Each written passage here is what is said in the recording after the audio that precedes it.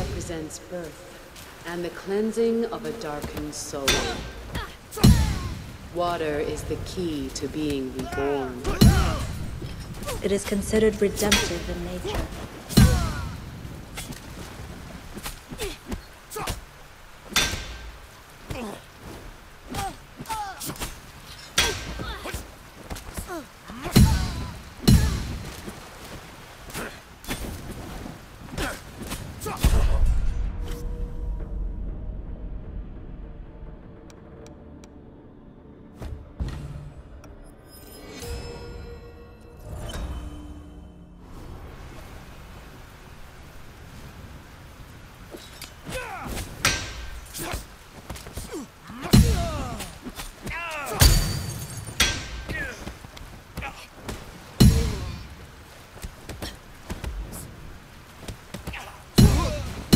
Like the darkness itself, we must first embrace it.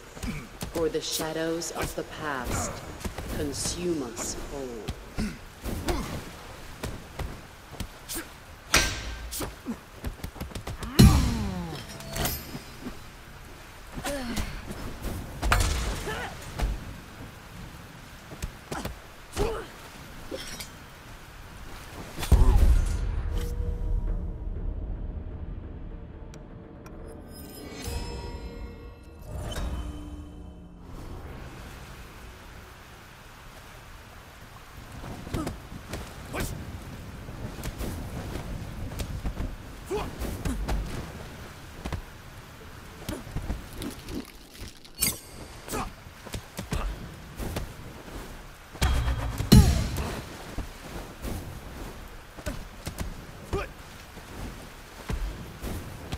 Stop!